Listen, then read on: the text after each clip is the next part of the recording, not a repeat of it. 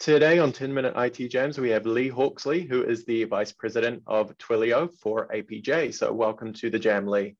Great to be here, Nick. Thanks for having me. Very good to have you on. So um, this interview is designed mainly for people to get to know Twilio and what you offer. So to start off, could you give me a brief rundown of Twilio? Of course, yeah, it might be my pleasure. Um, so Twilio has been around since uh, 2008 uh, started in San Francisco uh, by our current CEO, a guy called Jeff Lawson, um, who is a developer himself, um, and thought there must be a better way to allow apps and developers to really connect to their customers in a better way using the global communications infrastructure. Um, so really, Twilio has been a leader um, in democratizing the world's communication infrastructure um, things like voice, video, messaging, email, and so on and so forth, um, and making them available through APIs. So it's essentially putting all of that infrastructure available to anyone in a few clicks um, in the cloud. Um, and we've been doing that now for, um, what is it, 13, 14 years. So we've, we've grown uh, tremendously in that time. And uh, I'm fortunate enough to run our business over here in uh, Asia Pacific, based out of Sydney. Brilliant. Yeah. Um, well, so you mentioned APIs. That's kind of um, Twilio's bread and butter. So could you tell me specifically what are some key products and offerings that Twilio offers? Yeah, of course. Well, our, our, I guess our our genesis, our history, if you like, was in text messaging. Um, so way back in the day, our first product was um, really allowing developers and enterprise customers uh, to connect their apps um, to our API infrastructure so that they could SMS their customers no matter where they were. So you, you imagine how difficult that was. I think it's hard for a lot of people to really wrap their head around these days how hard that was 10 or 15 years ago um, to say, okay, I have this app and I want to do something really simple and straightforward, like, let's say, for example, two factor authentication, the type of message that you might get from a financial institution. Um, that's that was actually incredibly difficult um, back in the day uh, because you've got to connect to a whole bunch of infrastructure and then you've got to start to think about you know what countries do you want to connect to? What is the cost structure going to be? It's different cost to send an sms say in the us to what it is in australia versus indonesia for example. Um, twilio basically flattens all that out makes it super simple for developers and takes all of those headaches away so that they can concentrate fully on the customer experience rather than on infrastructure. Right. Yeah. Um, you just mentioned customer uh, experience. Um, so I was wondering if you could tell me how exactly does Twilio empower organizations to strengthen their customer relationships? Yeah, that's uh, that's a great question. Um, I mean, a lot of it, of course, is developers taking our tools um, and building around those tools or using those tools um, so that they can bring to life whatever it is that they have conceived in terms of customer experience. But let me give you a, a couple of exam- live examples, probably bring it to life a little bit more. We have, um, so I'll focus on two products that we, uh, that are very popular from Twilio, uh, the programmable messaging that I talked about a second ago, but we also have another product um, that has done it incredibly well over the last three years, um, a product called Flex um, which is a fully, essentially a fully programmable contact center solution in the cloud. Um, now, what that does is allows people to build customer experiences in any way they want, freed of the burden of a lot of the limitations that you might have from either a package solution or a typical cloud-based solution.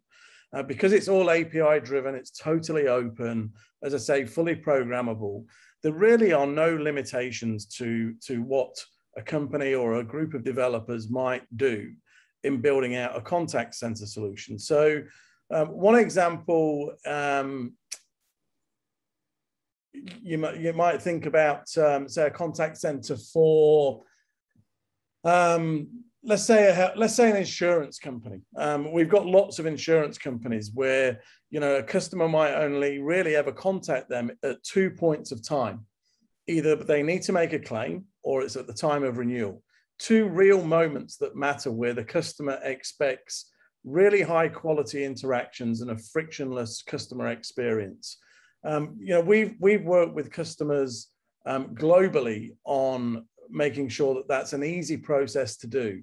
Um, and we're powering over half a million agents right now, um, making sure that the agents connect to their customers in their channel of choice and in a tone and a context that's appropriate.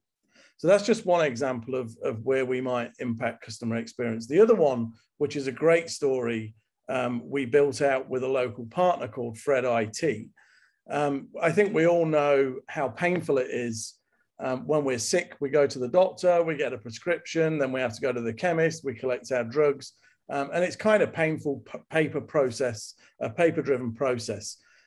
Fred IT had this idea that in this modern age, that should not be the case. It should you should be able to fulfill it all from your mobile phone. I don't think you can see that with my background, um, but that should all, it should be fully digitized um, and available on the phone. And Fred IT took our APIs, combined that with WhatsApp, um, connected it to their infrastructure that they deployed to thousands of pharmacists throughout Australia, and now having a prescription fulfilled is a seamless, paperless process. Um, so that's again a big leap from where we were maybe 18 months ago. Um, and really, what's interesting about Fred IT um, is that they brought this capability to life in a matter of weeks in the midst of a global pandemic. Um, and that, that's what I find super exciting about that particular story. Mm, yeah, brilliant. Um, so, looking towards the future now, changing tech a bit, what trends or innovations is Twilio focused on in the next few years? I think the big theme for us is, you know, lots of developers and lots of our enterprise customers are obviously using Twilio um, at that point of interaction. When you scratch away and look at that point of interaction, and, and we know this as consumers ourselves and as customers ourselves, um, what's vitally important in those comms is the, is the degree of personalization. And we've kind of been through the first wave where the email or the text message or whatever it was says, Dear Alex. Um, we've been through the second wave where the whoever is communicating with you is smart enough to understand your channel preference. So they, they either know that you prefer email or they know that you prefer a text um, or whatever it might be. The third wave is really interesting for me because I think it brings into focus context of being able to leverage data in real time and signals in real time, and also timing. Timing is vitally important when it, when it comes to hyper personalization and highly contextual messaging. Um, and that's something that we're very focused on. And one of the reasons that we acquired an amazing company called Segment um, almost a year ago. Um, and Segment is doing amazing things with huge volumes of first party data for our customers, making sure that they have all of the signals to hyper personalize their messaging in this third wave of personalization. And we, we think that's going to be a mega trend for the next two to three years, and something that we're certainly seeing a lot of developer, a lot of CIO, and a lot of CMO interest in. So we're, we're really excited by that trend. Awesome. Yeah, sounds good. Um, so my last question for you today, Lee, is for those who are interested in what Twilio has to offer, what are the best uh, ways to get in touch? Well, everything that we have is available in the cloud, Alex. And the best way to connect with us is through our website, twilio.com. Um, I'm sure you can put up a link for us as well.